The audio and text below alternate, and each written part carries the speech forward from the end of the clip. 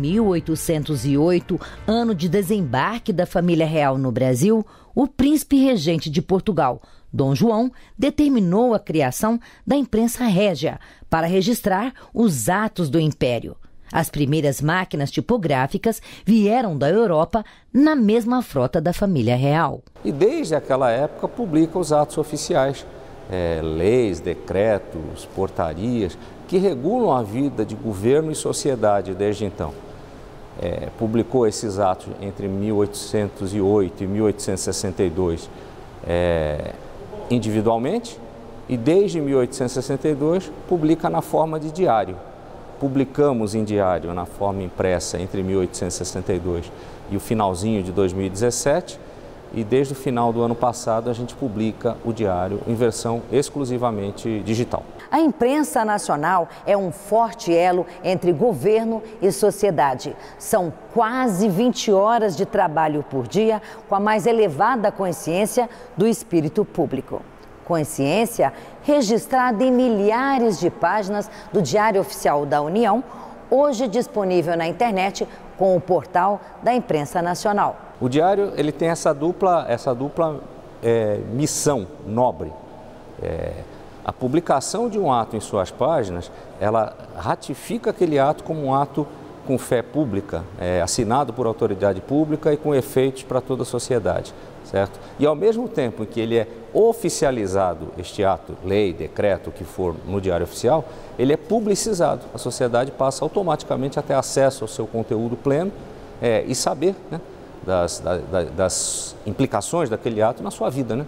seja empresa, seja cidadão, sejam governos. E hoje, as versões digitais, com acesso fácil que nós temos por meio de computador, tablet, celular, você consegue é, por este mecanismo, acessar toda a sociedade brasileira em praticamente todo o território nacional aonde haja cobertura de internet. Com o fim da versão impressa, ah, nós conseguimos economizar aqui eh, um volume superior a um milhão de reais eh, mensais entre produção e distribuição de jornal, superior a 12 milhões de reais ano.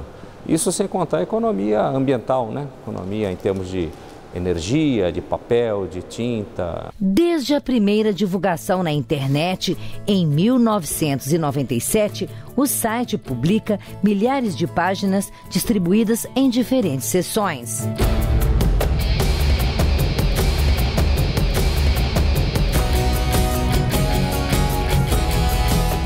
Imprensa nacional está além do diário oficial. A editora foi responsável pelos primeiros livros e jornais do país, entre eles a Gazeta do Rio de Janeiro, o primeiro jornal publicado no Brasil pela então imprensa régia. Toda essa história é contada no museu e também está registrada nos livros da Biblioteca da Imprensa Nacional.